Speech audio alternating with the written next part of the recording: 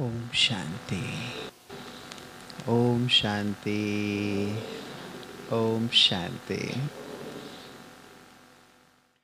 और जितना हम योगी बनते चलेंगे, उतने ही सिद्धि स्वरूप बनते जाएँगे।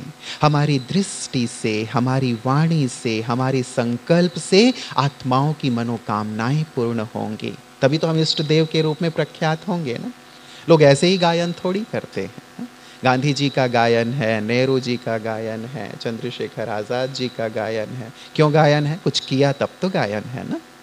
हमने भी लोगों की मनोकामनाएँ पूर्ण की हैं। हमने ही लोगों को मुक्ति जीवन मुक्ति दी है, उनका कल्याण किया है, तभी ये गायन है। ये कार्य कौन कर पाएँगे? जो योगी होंगे। तो तैयार हैं योग युक्त होने के लिए, हा?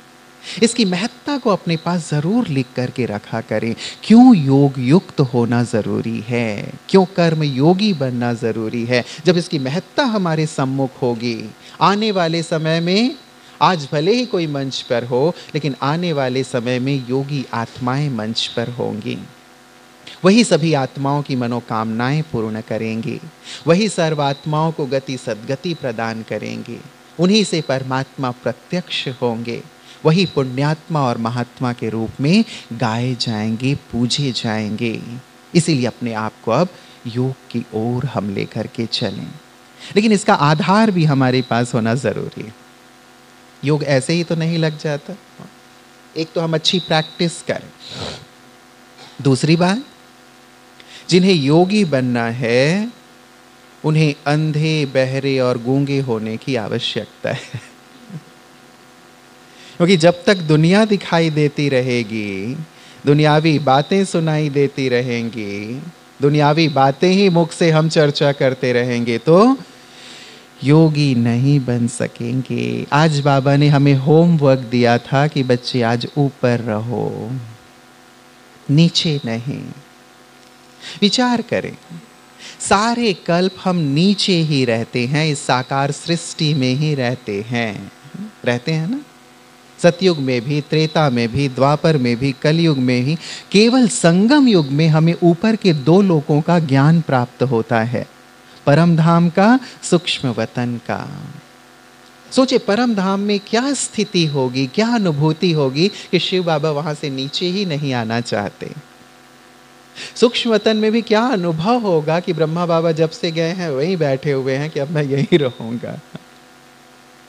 हमारे पास केवल संगम युग है, इन ऊपर के दो लोगों का अनुभव करने का।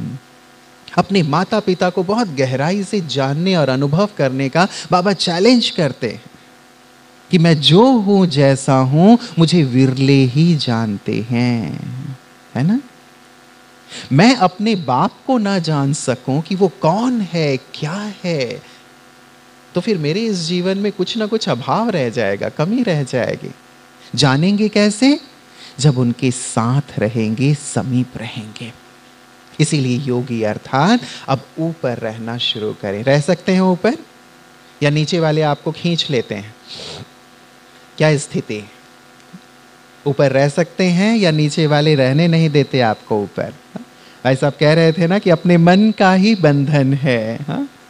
अब मन के बंधन को तोड़ें, मन मना भव हो जाए। प्रैक्टिस भी करें और साथ ही देखिए प्यार? हमारी योग का आधार क्या है? कर्म योग का आधार है प्यार। व्यक्ति किसके साथ रहना पसंद करता है? जिसके साथ प्यार है। आपने प्रेमी प्रेमिकाओं को देखा होगा। सागर के किनारे बैठे रहते हैं, सुबह से शाम तक बैठे रहते हैं। पता नहीं क्या करते हैं, लेकिन सुबह से शाम तक बैठे रहते हैं। या बगीचे में भी सुबह से शाम तक बैठे रहेंगे। हा? प्रेमी प्रेमिका। क्यों? प्यार है।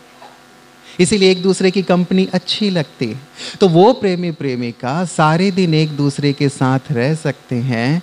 हम अपने परम प्रियतम के साथ, अपने परम मित्र के साथ, अपने साजन के साथ, हा? अपने परम शिक्षक, सदगुरु के साथ जो हमारा संसार है, क्या हम उसके साथ नहीं रह सकते? मीरा जी प्रेम में डूबी रहती थी, उनको देख करके श्री कृष्ण जी दिखाई दिया करते थे। क्या हम ऐसे प्रेम में नहीं डूब सकते? बाबा ने हमें कितना कुछ दिया है। बाबा हैं तो हम हैं। यदि बाबा को अपने जीवन से माइनस कर दें तो हमारे जीवन में कुछ भी नहीं बचता। तो बाबा ने मुझे इतना कुछ दिया है, बाबा के प्यार को, उपकार को, उन प्राप्तियों को याद करके हम उनके प्यार में डूबे रहा करें। प्यार आधार है, योग का। बाबा जिसको कहते हैं, जहाँ मोहब्बत है, वहाँ मेहनत नहीं है। और यदि तुम्हें योग में मेहनत करने की ज़रूरत पड़ती है तो स्पष्ट है कि मोहब्बत कहीं ना कहीं कम है। या तो मोहब्बत बच्चों से जुड़ी हुई है, पति से जुड़ी हुई है, वस्तुओं से जुड़ी हुई है, या पुराने संसार से जुड़ी हुई है। अब यदि वहाँ भी जुड़ी हुई है तो फिर योग में बैठेंगे तो क्या होगा? उनका भी ध्यान आना शुरू हो जाएगा। बैठे हैं यहाँ योग में। तन यहाँ बैठा है, लेकिन मन कहाँ है? बुद्धि कहाँ है?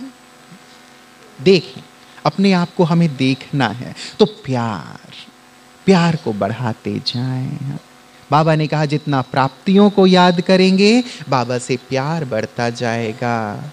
जितना निराकार स्थिति का अभ्यास करते जाएँगे, प्यार बढ़ता जाएगा। और बाबा ने कहा है, लव ही लक के लॉक की की है।